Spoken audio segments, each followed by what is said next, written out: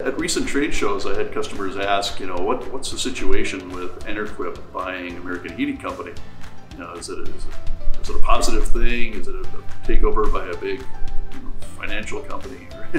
and it, it's not. Enerquip is a, a, privately held company, also bigger in size and, and bigger in, in, breadth of services than American Heating Company. But it's been a great marriage. Um, you know, Enerquip up in Wisconsin has, you know, for example, six design engineers versus one on the American Heating Company side. Um, six CAD engineers versus one on the American Heating side. They brought a lot of horsepower from the engineering perspective, but also from the fabrication standpoint. Uh, their knowledge in emerging industries like biofuels. You know, there, there's a big push right now in many states to enact a percentage of the fuel being used to biofuels.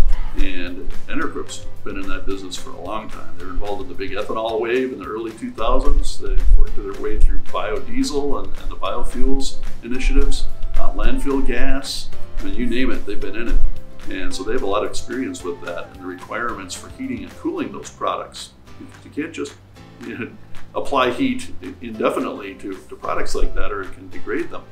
Um, also, the materials of construction. Enerquip has been in the stainless and higher alloys industry, the Hastelloys and duplex stainless AL-6XNs. The others are very familiar with those.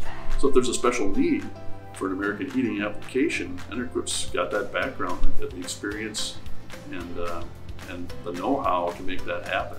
So it's been nice to be able to have that offering for our customers, and they're getting the benefit of, of both sides there the high alloy side with the strength of the engineering and the market knowledge, along with uh, the high quality construction from Oklahoma and that great work ethic that those guys have down there to get the job done for our clients.